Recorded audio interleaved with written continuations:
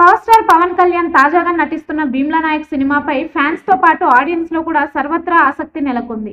నిజానికి సంక్రాంతికి విడుదల అవుతుందనుకున్న ఈ మూవీ ఇప్పుడు ఎప్పుడు విడుదల అవుతుందో అర్థం కాని పరిస్థితి.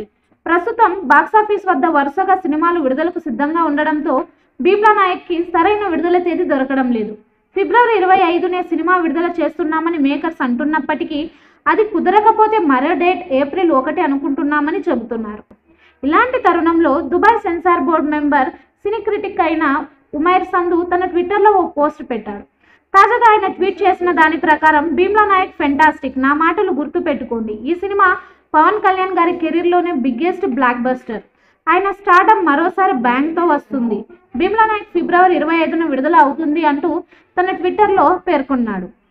ఇక సితారా ఎంటర్టైన్మెంట్ బ్యానర్ పై నిర్మిస్తున్న ఈ సినిమాకి తమం సంగీతం అందిస్తుండగా యువ దర్శకుడు సాగర్ కే చంద్ర దర్శకత్వం వహిస్తున్నారు. చూశారు కదా ఈ వీడియో కనుక మీకు నచ్చినట్లయితే లైక్ చేయండి షేర్ చేయండి కామెంట్ చేయండి. మరిన్ని అప్డేట్స్ కోసం మన ఛానల్ని సబ్స్క్రైబ్ చేసుకోండి అబ్బా. అలాగే పక్కనే ఉన్న గంట సింబల్ కూడా గట్టిగా కొట్టండి. మీరు మర్చిపోయినా మేము మర్చిపోం.